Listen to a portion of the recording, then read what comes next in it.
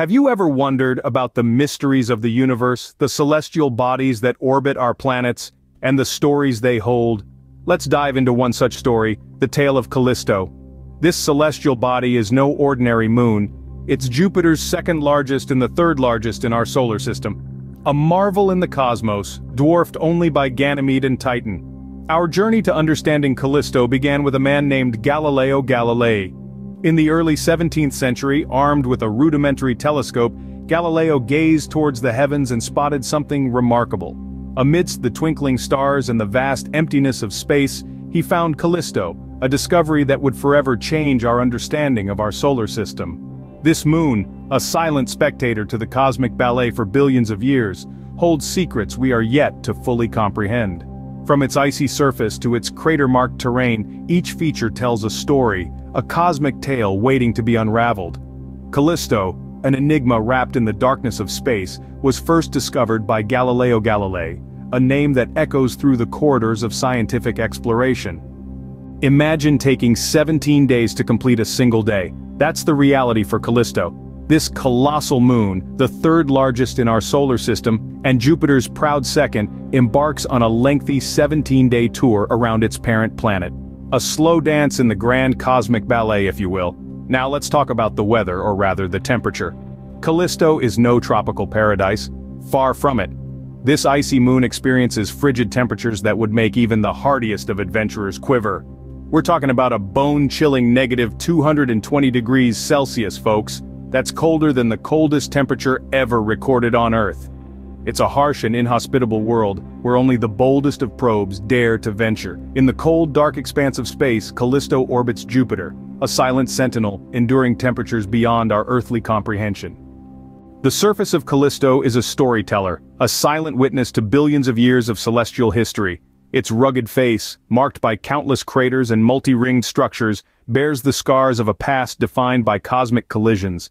Each crater, each ring, is an echo of a distant asteroid impact, a testament to the moon's enduring presence in our solar system.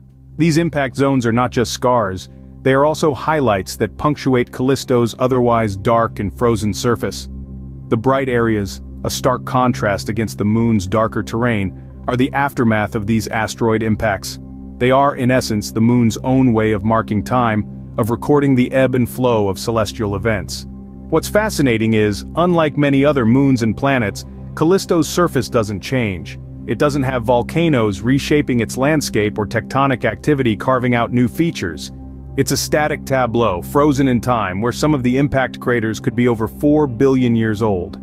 This lack of change, this constancy, is part of what makes Callisto so intriguing. It's like a time capsule, preserving a snapshot of the solar system's history for us to explore and understand.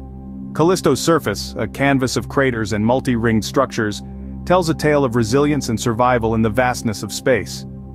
Callisto stands as a testament to the unchanging nature of our universe. As we delve into the world of this fascinating celestial body, we find a sense of permanence rarely seen elsewhere. Callisto is often referred to as a dead moon, a term that can seem a tad morose until you understand its meaning. Callisto's dead status doesn't come from a lack of life but rather a lack of geological activity. This means that unlike Earth or even our own moon, Callisto does not have any volcanoes or tectonic activity. There is no reshaping, no renewing of the landscape happening on this icy orb. The surface of Callisto is a still portrait frozen in the canvas of time. The marks of the past remain etched into Callisto's surface, undisturbed and untouched. The impact craters that dot its terrain are time capsules, each crater tells a story, a story of an asteroid impact that happened eons ago.